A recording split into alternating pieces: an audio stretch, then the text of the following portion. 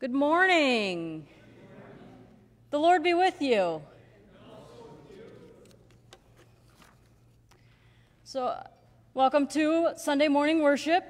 I'm uh, intern Maddy, um, and we want to extend a thank you and welcome to Pastor Steve Erickson, who will be presiding today. And we also want to welcome and thank Lisa Shimmons for being our guest musician today.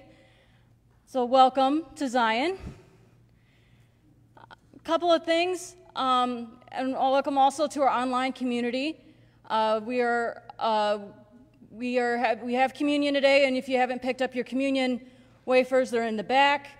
Um, and we ask that after worship, if you could discard uh, discard all remains of the communion into the two little baskets that are back there in the center pews. Uh, we are also doing virtual communion as well. So if you are at home feel free to grab anything uh, to represent the elements today. A couple of other things to note also, offering is in the back as well in that box over there. Uh, so the, those are all the housekeeping things I've got. A couple of things, a couple of announcements regarding funerals this month.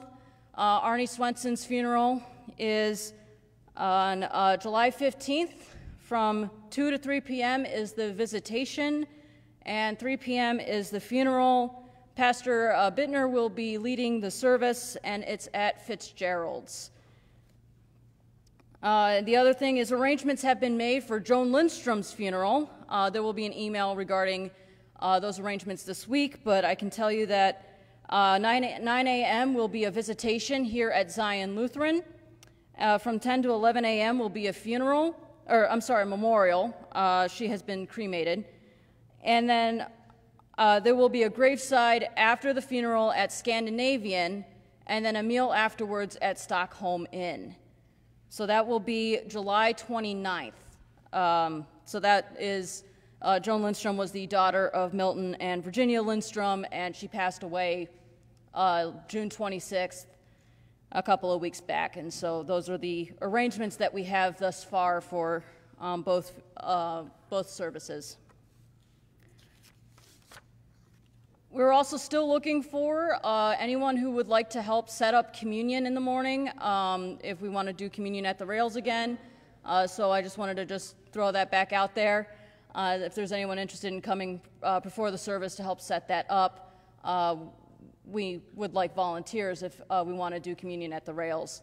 Um, so, welcome to worship. So glad you're here.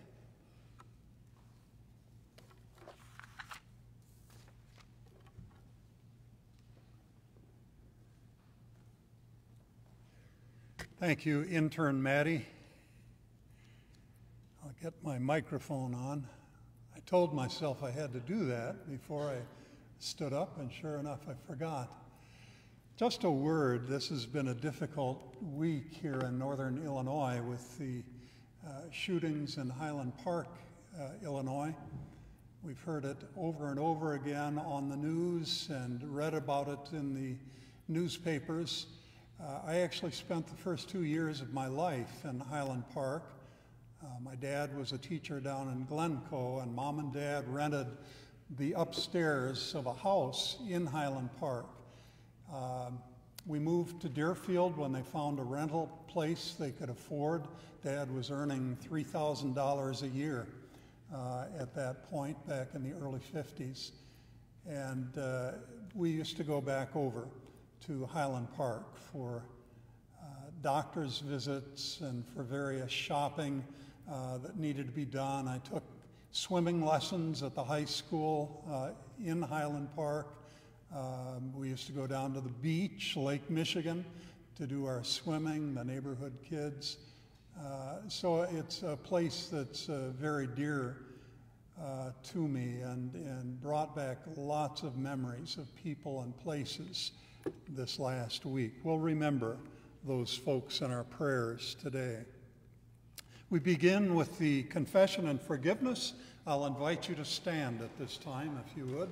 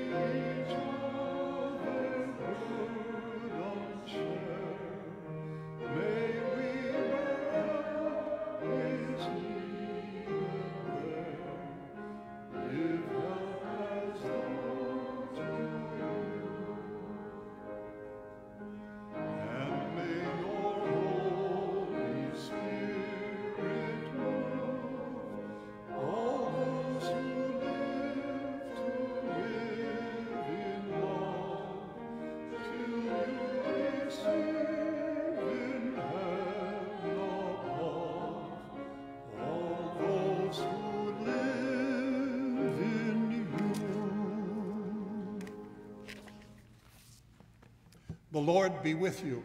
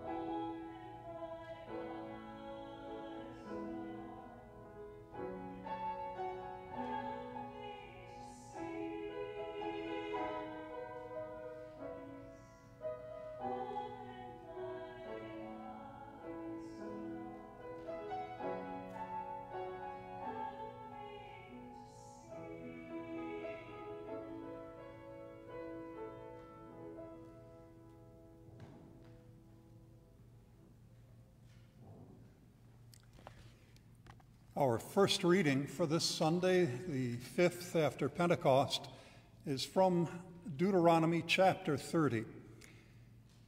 The Lord your God will make you abundantly prosperous in all your undertakings, in the fruit of your body, in the fruit of your livestock, and in the fruit of your soil.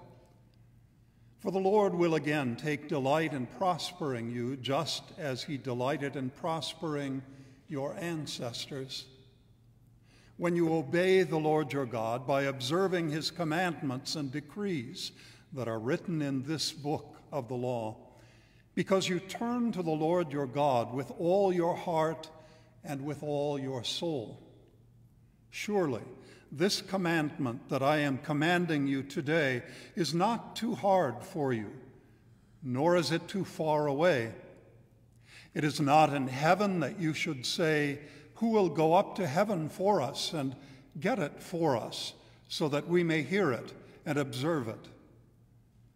Neither is it beyond the sea that you should say, Who will cross to the other side of the sea for us and get it for us so that we may hear it and observe it?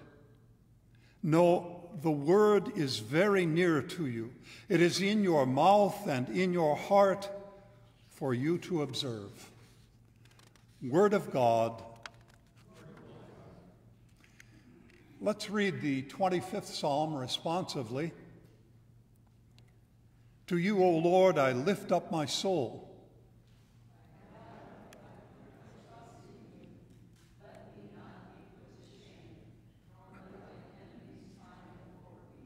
Let none who look to you be put to shame. Rather, let those be put to shame who are treacherous.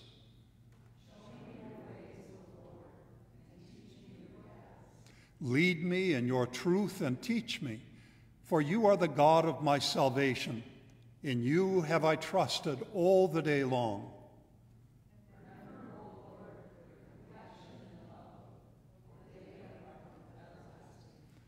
Remember not the sins of my youth and my transgressions. Remember me according to your steadfast love and for the sake of your goodness, O Lord.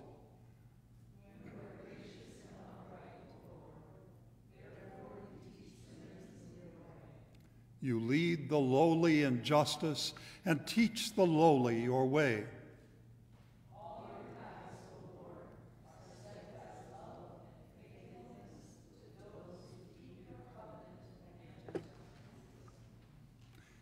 The second reading, the epistle, is from Colossians, the first chapter.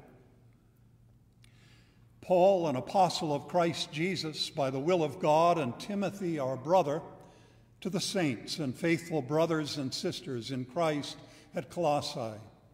Grace to you and peace from God our Father. In our prayers for you, we always thank God, the Father of our Lord Jesus Christ for we have heard of your faith in Christ Jesus and of the love that you have for all the saints. Because of the hope laid up for you in heaven, you have heard of this hope before and the word of truth, the gospel that has come to you. Just as it is bearing fruit and growing in the whole world, so it has been bearing fruit among yourselves from the day you heard it and truly comprehended the grace of God. This you learned from Epaphras, our beloved fellow servant. He is a faithful minister of Christ on your behalf, and he has made known to us your love in the Spirit. For this reason, since the day we heard it, we have not ceased praying for you and asking that you may be filled with the knowledge of God's will in all spiritual wisdom and understanding, so that you may lead lives worthy of the Lord, fully pleasing to Him, as you bear fruit in every good work and as you grow in the knowledge of God.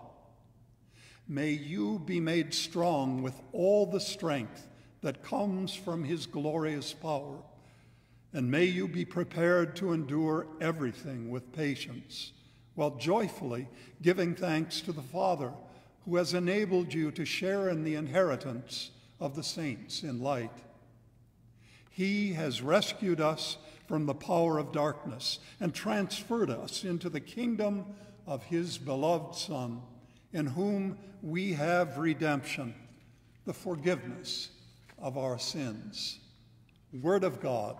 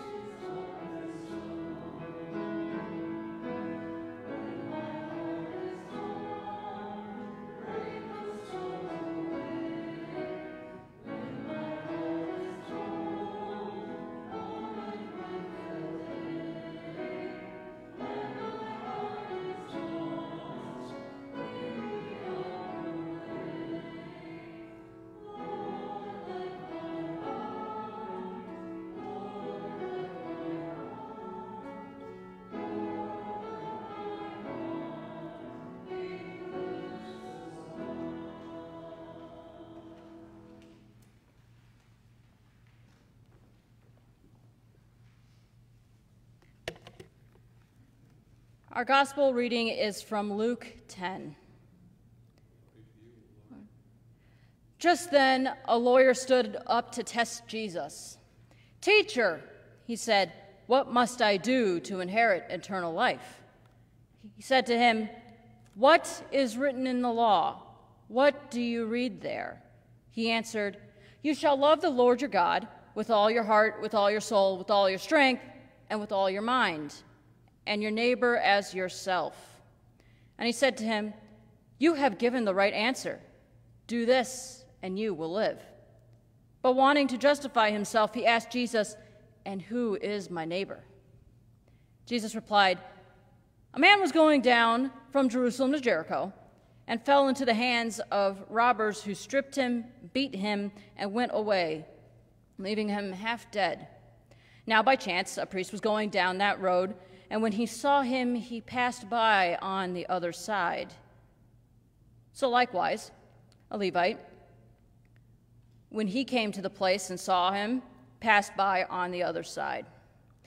But a Samaritan, while traveling, came near to him, and when he saw him, he was moved with pity.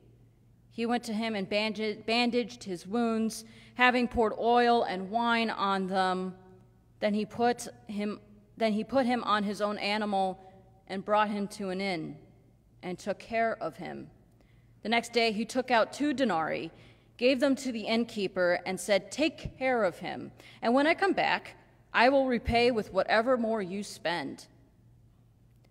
Which of these three do you think was a neighbor to the man who fell into the hands of the robbers? He said, The one who showed him mercy. Jesus said to him, Go and do likewise. The gospel of our Lord.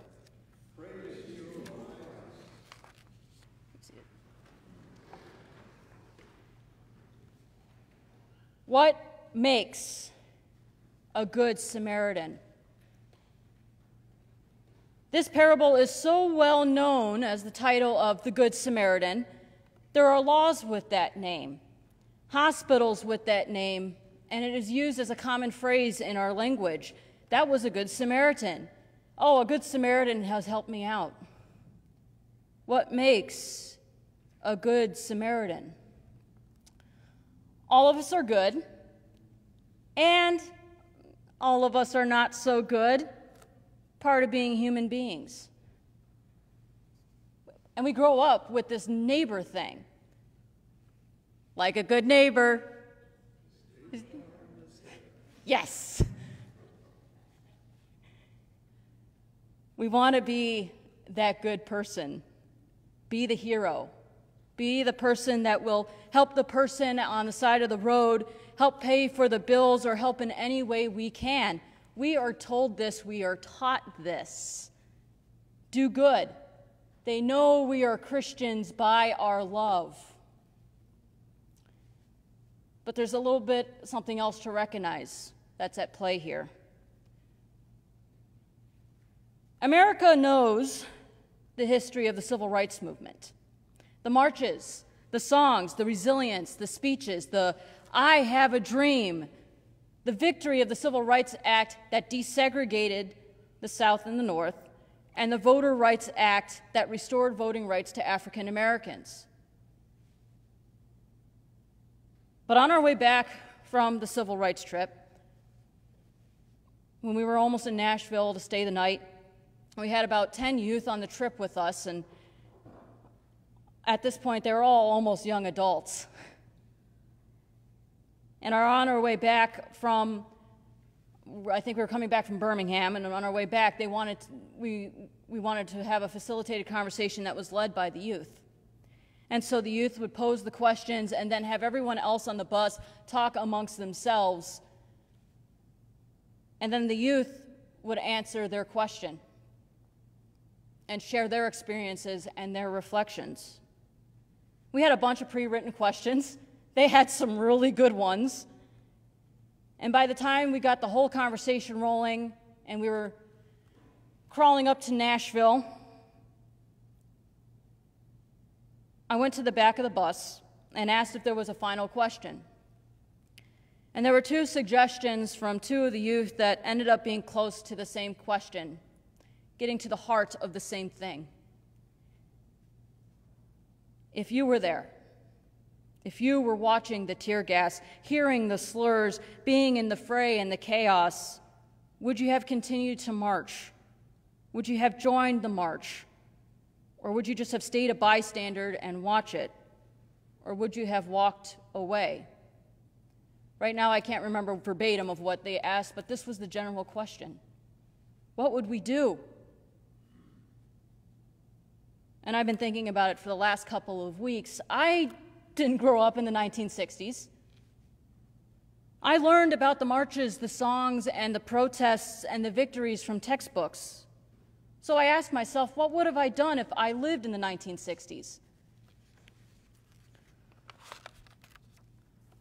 All of us react differently to situations, and that's not a bad thing. But we can be trapped in when we talk more than how we act, or when we stay silent, or say it under our breath so no one else can hear. And I have kind of likened it to how it is when the priest and the Levite looks down at the man on the road and goes to the other side and walks on. How many of us have watched others walk by us when we are lying on the side of the road? How many of us rush to help at the first sign of trouble? And how many of us have looked the other way before and walked on the other side? You see, it's easy to get caught up in what's good and what's bad, and it's also to get, get caught up in the bystander effect. That's human psychology, that's sociology. It's fight, flight, or freeze. But Jesus is fully aware of that no matter what choices we make. Jesus knows that we may do good at one point, but then keep on walking and passing someone else later on. We do that. This man is left on the side of the road, is most likely a Judean. He's coming from Jerusalem to Jericho when he's jumped by bandits, robbed, and left for dead. A priest comes by, looks down, and walks, one, walks the other side of the road. And so does a Levite. Two people that know the Torah and recognize what is asked of them, just like how the Pharisees know the Torah. You shall love the Lord your God with all your heart, all your soul, all your mind, all your strength, and love your neighbor as yourself. That's Deuteronomy. That's the Torah. That's in the Torah. The priest and the Levite know what's asked of them, but they go on the other side and walks on. Maybe the priest felt like their job was done for the day, or the Levite assumed the man was dead already. And then a Samaritan comes along. There is a reason why Jesus names the Samaritan and not just some guy who comes to help.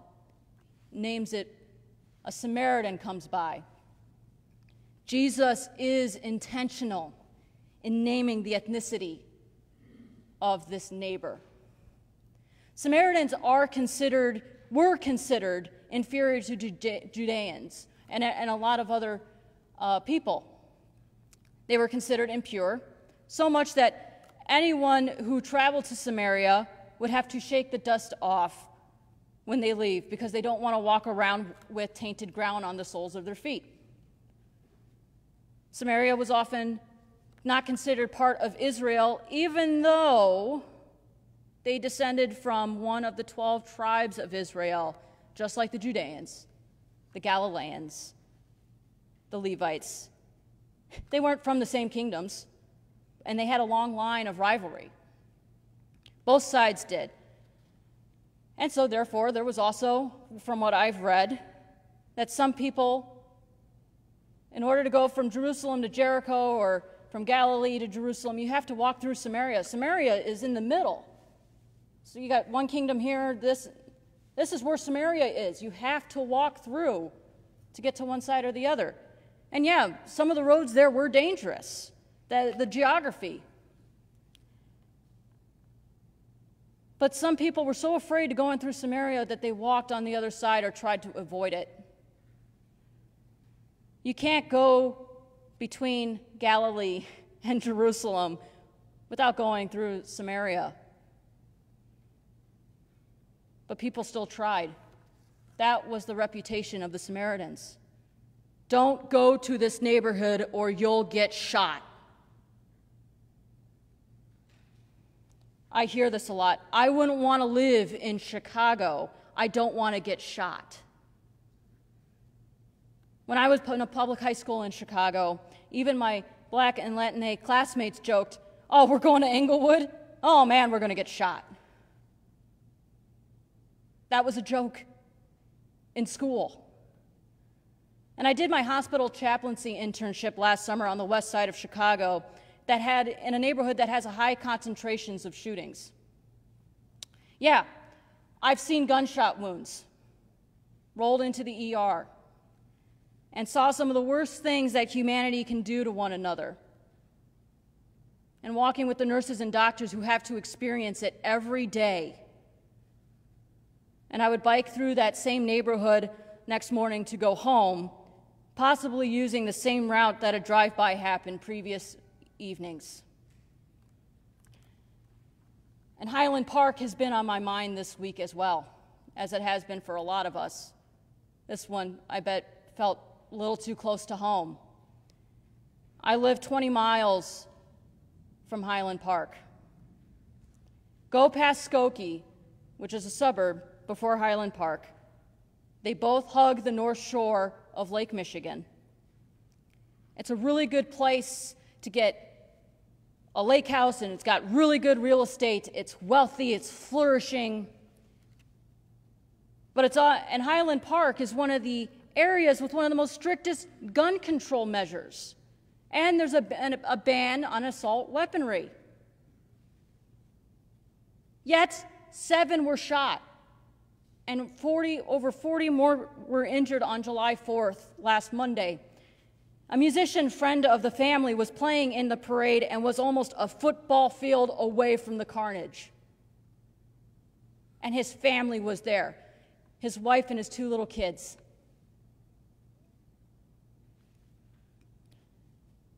This isn't dismissing the fact that we need to take precautions. Unfortunately, we have to do that in this world.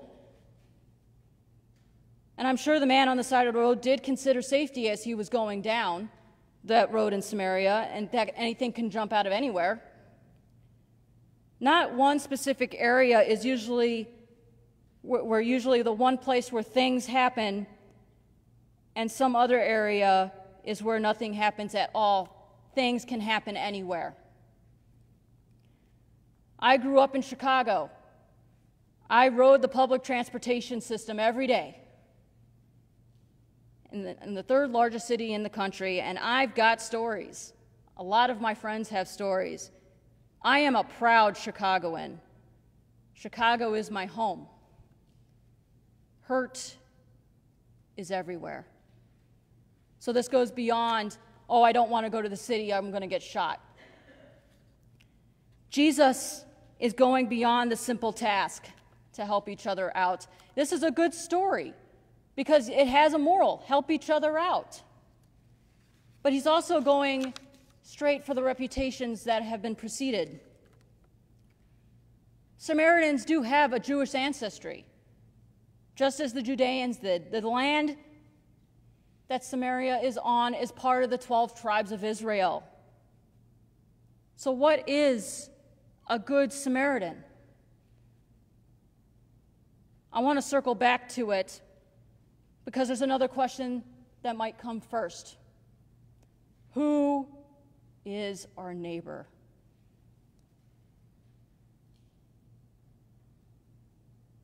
The world is changing all the time. Our neighbors next door are probably not the same as they were 20 years ago. My neighborhood changes all the time in Irving Park. It's not as white as it was when I was growing up. It's still pretty white, but the diversity is changing. But I bike to, through another neighborhood called Albany Park in order to go to the Old Town School of Folk Music, where my parents worked, where I was employed, and where I took classes or went to the Square Roots Folk Festival, which is happening this weekend, where I hung out, I had to bike through Albany Park in order to get to Lincoln Square, the other neighborhood where the Old Town School was.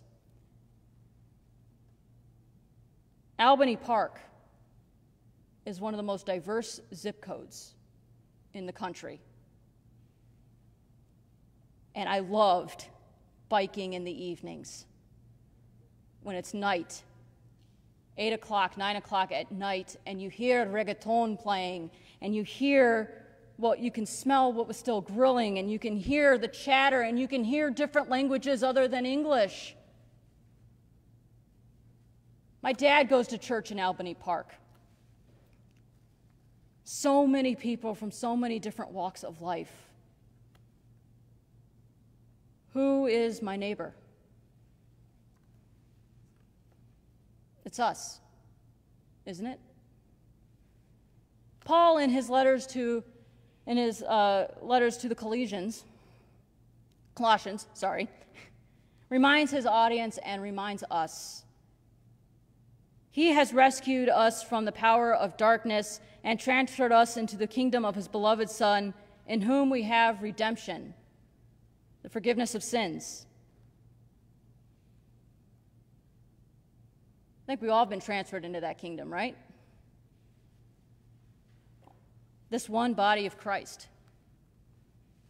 A Christ that showed mercy to all of us, where all of us have, may have felt like the man left in the ditch, or the, where we have all tried to be the Good Samaritan, where we are all the priest and the Levite that walks on the other side of the road. Who is our neighbor? It's that person that lives on the north side of Chicago and that person who lives on the south side of Chicago and the west side. The person that likes the Cubs, unfortunately, and likes the White Sox. The person that likes the Bears and the person that likes the Chiefs has, I mean, Packers. The person from North Rockford and the person from Midtown. From those from Loves Park and Machesney Park to those who come from Black Hawk. The person who grows up with access to everything and the person who has a budget and has to make impossible decisions, rent over food. The person from the wealthiest zip code and the person from the poorest zip codes. From Highland Park to West Garfield Park, Englewood, and Austin in Chicago. The person who is white, the person who is black, and the person who is brown. And we have our gay and bisexual and transgender neighbors as well. And the neighbor that doesn't fall into the human gender binary of he and she. And the Buddhists, the atheists, the Muslims. All of us. All lives do matter. But if one life is hurt, if one neighbor is hurt and we keep walking by, all becomes some. Samaritan lives matter. Judean lives matter. Levite lives matter. So, how do we, inter- how do we inherit eternal life? Whether we recognize it or not, we've got eternal life. That's the gift from God. From the one who showed us mercy. And who better to demonstrate that mercy than Jesus Christ, who died on the cross. Christ coming in the form of a Samaritan. Through Jesus Christ, we are part of a kingdom, forgiven for all the times we have walked past, and rescued from the darkness of when we needed help. All lives inherit eternal life. That's the good news God's grace, love, and mercy. Go and do likewise, Jesus says. Amen.